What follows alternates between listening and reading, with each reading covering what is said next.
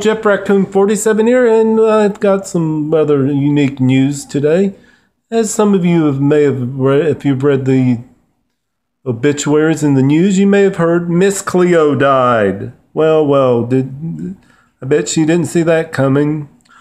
The truth is, not trying to be a little facetious there, but in all seriousness, here's a woman that the world didn't, a human being that was not that great of a person. She was one of the biggest frauds of all time.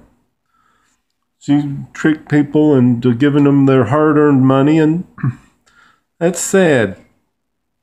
It's really sad that somebody did would do something like that.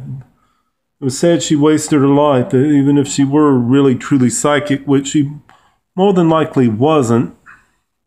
If she had a gift like that, why, does, why did she use it to defraud people of their money and make people give her the, the give her their hard-earned money. Of course, then again, I'm I don't believe in psychics really, so I'm who am I to talk? Well, well, I'll tell you who I am.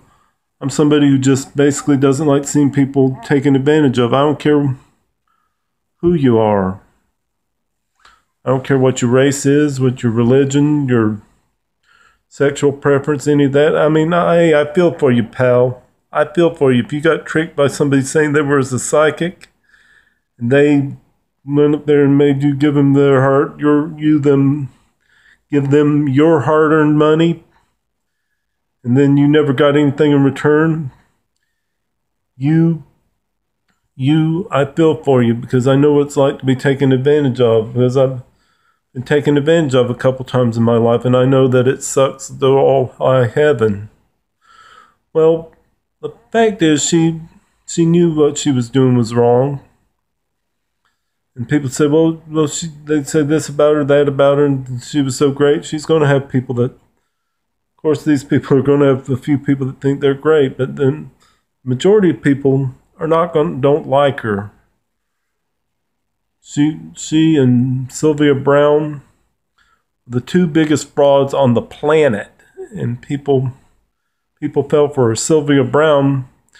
hey, George Noory kicked her off, kicked her off the show, kicked her off Coast to Coast AM because they, because of her real brute, real cruel attitude toward a, a person whose daughter died she told her her daughter was dead, and the when she in fact wasn't, and her sister, another member of her family died, and she she's she's she's getting what she deserves, and they both of these people are getting what they deserve in the afterlife.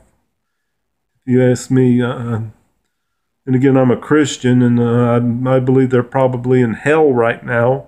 No offense to anybody who believes in psychics and, and uh, you want to believe in psychics, that's that's fine and dandy, but you got to realize these people, the 99.9% of them are fake. And and that's just it. I don't like seeing, like I said, I don't like seeing people taken advantage of. I'll let you get and have a nice night.